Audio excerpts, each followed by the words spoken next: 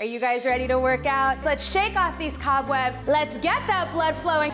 Black people need to have a place where they can work out and sweat and feel good too. And so we created TrillFit to be that safe space. So many people believe in our mission and our values to bring wellness to more people who need it. Get into one of our digital classes, whether you're at home or whether you're in the studio. We are at uh, Café Sauvage Boston, French restaurant with some roots in Africa. We really wanted to bring a part of our home to Boston. Being a black woman in Boston means a lot to me. Really wanted to make proud my black community around us in Boston. Elegant Stitches is a custom embroidery and screen printing business. Quality became our number one and essential thing that we looked up to. Black history is very important to our country as a whole, and history also helps you move forward. Black History Month should be celebrated by all. We all get together and enjoy that moment.